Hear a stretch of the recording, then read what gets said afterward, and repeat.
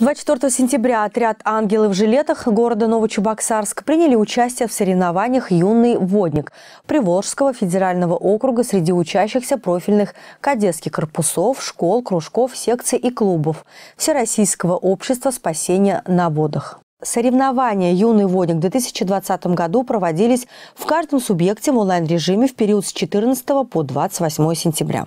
В программу соревнований входили следующие этапы. Представление команды, визитка, вязание узлов, плавание вольным стилем на дистанции 50 метров, комбинированная смешанная эстафета по плаванию 4 по 25, использование спасательного конца Александрова, бросание спасательного круга в зону утопающего и кросс 1 километр. Новочебоксарская команда впервые приняла участие в таком виде состязаний за Чувашскую республику. Ребята показали хорошие навыки и умения на всех этапах и заняли третье место. Поздравляем наших кадет и желаем дальнейших успехов.